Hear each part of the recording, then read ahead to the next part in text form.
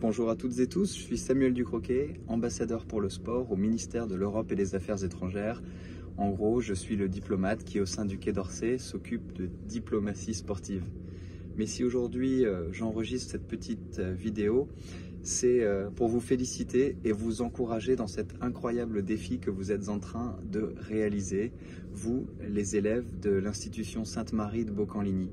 Je sais que vous êtes 3000 3000 à, essayer de relever un incroyable défi de 8h à 17h30 aujourd'hui, celui de vous relayer toute la journée pour porter la flamme olympique à l'occasion de l'approche des Jeux de, Paris 2024 sur notre territoire, un événement que nous n'avons pas accueilli depuis maintenant 100 ans. Alors euh, ce défi, euh, il a été rendu possible et je les félicite grâce à votre euh, corps enseignant, grâce aux professeurs d'EPS qui vous encouragent à, mener à bien cette, folle aventure.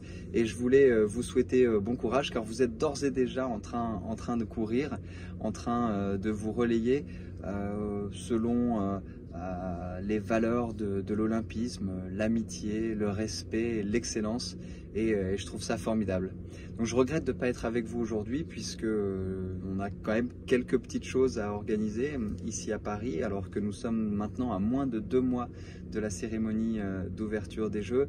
Mais je tenais aussi à vous faire passer ce message car originaire moi-même des Hauts-de-France, je suis fasciné de voir à quel point les valeurs de l'olympisme, je le disais tout à l'heure, mais aussi la ferveur olympique brûle en vous comme, comme la flamme symbolique que, vous portez euh, aujourd'hui.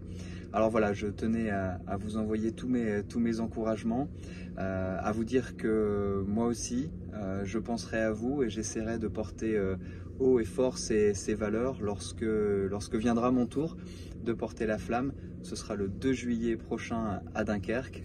En tout cas, d'ici là, je vous souhaite un excellent, un excellent relais et je vous souhaite surtout de vous amuser, de profiter de ce moment d'échange d'amitié.